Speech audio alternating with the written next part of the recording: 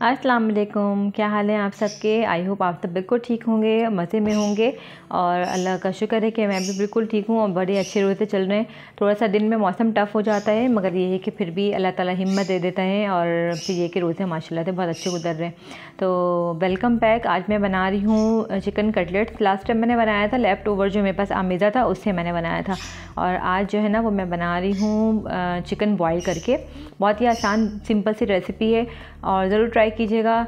ये बहुत ही कम इंग्रेडिएंट्स में और मसाले मैंने बहुत ही कम यूज़ किए हैं चूँकि बिल्कुल अफ्तार दिन भर जो हम नहीं खाते हैं तो मैदा जो है ना वो हमारा थोड़ा सा आ, क्या कहेंगे कि बिल्कुल मिर्चों वाली चीज़ें ना बर्दाश्त नहीं करता तो मैंने बिल्कुल लाइट मसाले का बनाया है। तो इसके लिए मैंने आलू लिया है दो ज़्यादा नहीं बनाती हूँ मैं कुछ भी रोज़ रोज़ का होता है कि रोज़ जितना बनाना होता है उतना मैं बना लेती हूँ। सिर्फ़ समोसे रोल हैं जो मैं स्टॉक करके रखती हूँ। चूँकि वो थोड़ा सा टाइम टेकिंग होता है। अच्छा यहाँ पे आलू को बॉईल कर लिया मैंने छिलने के बाद और उसके बाद जो है इसको मैश करके फॉक की मदद से मैश कर रही हूँ। आप चाहें तो आलू मैशर से भी कर सकते हैं। और उसके बाद जो है चिकन को बॉईल करके उसको भी मैंने रेशा रेशा करके रखा हुआ है साइड पर। मैं आपको अभी दिखाती हूँ। ये देखें चिकन को मैंने इस तरीके से बॉईल किया इसमें थोड़ा सा नमक डाल के मैंने इसको बॉईल किया था और साथ ही इसको मैंने थोड़ा सा रेशा रेशा भी कर लिया है। यहाँ पे देखें बॉयल आलू है ब्रेड क्रम्स हैं। और ये दो तरह के ब्रेड क्रम मैंने मिक्स करके रखा है। एक वाइट है एक ऑरेंज में से कलर बहुत प्यारा आता है। अच्छा आलू में नमक डाल हूँ। आप जो है अपने टेस्ट के हिसाब से डालिएगा। मैंने तक मैं हाफ़ टी स्पून डाला चूँकि मैंने बॉईल करते वक्त भी डाला था। और यहाँ पे मैं डाल रही हूँ ब्लैक पेपर और साथ ही सोया सॉस डाल रही हूँ। आप चाहें तो चिल्ली गार्लिक सॉस भी डालें। बहुत मज़े का टेस्ट आता है। लेकिन लास्ट टाइम जो बहुत मसाले वाला मैं बना चुकी हूँ तो इस दफ़ा मैं बिल्कुल लाइट मसाले का बना रही हूँ मैं किसी किस्म की कोई सब्ज़ी वगैरह कुछ भी नहीं डालूँगी। वरना कैप्सिकम के साथ भी बहुत मज़े का लगता है। अच्छा ये डाला उसके बाद हम इसको बस नॉर्मली अच्छी तरीके मिक्स कर लेंगे। और मिक्स करने के बाद एक तरफ़ मैंने अंडा रखा हुआ है, उसमें नमक और काली मिर्च रखा है उसको हम फेंट लेंगे। फॉक की मदद से और साथ ही ब्रेड क्रम है और थोड़ी सी मैंने मोजीरा चीज़ ली है। और वो डाल के बस हम टिकिया बनाएँगे। नॉर्मल जैसे हम टिकिया बनाते हैं कटलेट्स के लिए शेप जो है वो आप अपनी मर्ज़ी से दे सकते हैं।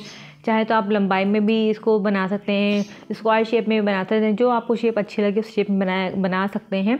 मतलब ये आपकी चॉइस होती है कि आपको जो शेप अच्छी लगे वो आप बना सकते हैं। मैं इसको नॉर्मल कटलेट के शेप में ही बना रही हूँ, जो एक रिवायती हमारा चला आ रहा है। कटलेट का शेप इसमें बना रही हूँ। यहाँ मैंने गोल सा एक कोफ्ते की तरह लिया, उसको बीच में मैंने थोड़ा सा होल किया और साथ ही मैं चीज़ डालूँ चीज़ मैं थोड़ा सा कम डाल रही हूँ। माना कि बाबा को इतना खास पसंद नहीं है चीज़ लेकिन ये कि इसमें भरपूर चीज़ डालो तो बहुत ही मज़े का लगता है। तो बस चीज़ मैंने डाला और फिर मैंने इसको गोल गोल सा बना लिया। में ड्रिप करने के बाद इसको हम नॉर्मल हाथ से उसको दबा कर के और बहुत ही मज़े का ये बना कटलेट बहुत ही आसान रेसिपी तो ज़रूर ठंडे में ट्राई कीजिए उसके बाद जो है ब्रेड कप में। आप लोग कटलेट किस तरीके से बनाते हैं तो वो भी अगर मुझे बताइएगा कि उसको कोई डिफरेंट तरीका है तो मुझे ज़रूर कमेंट सेक्शन में बताइएगा। बस इसी तरीके से ना मैंने सारे बना लिए थे टोटल छः बने थे ये। और बहुत था मेरा एक दिन के लिए चूँकि मुझे जो मना के बाबा इतने शौक से खाते नहीं, मना इस तरह चीज़ें थोड़ा कम ही खाती है। आजकल जो है ना, उसका सारा फोकस जो है वो बीस समोसे पर आया हुआ है। तो बहरहाल ये छः बनेंगे इसको चाहें तो आप इस इस टाइम पे ना इसको फ्रीज़ भी कर सकते हैं और जब फ्राई करना हो तो निकाल के फ्राई कर लें। मैंने फ़िलहाल छः के छः मैंने फ्राई कर लिए थे।